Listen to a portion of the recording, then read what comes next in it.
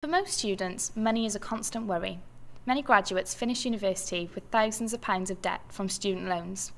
Quick money lender Wonga.com has offered a fast and simple solution to money worries that may leave students in even more financial trouble. The National Union of Students have accused Wonga of being incredibly irresponsible. The company are advertising their short-term loans as an alternative to student finance.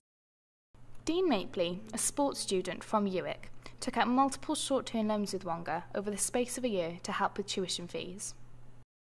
Um, a loan from Wonga just to pay, or to cover me through um, uni, and um, yeah, I got myself into a little bit of bother. Yeah, now I'd have to take on um, just an extra job, so I take two jobs now, just to cover me and help pay off the loan. Wonga offers short-term loans of up to £400 deposited within 15 minutes.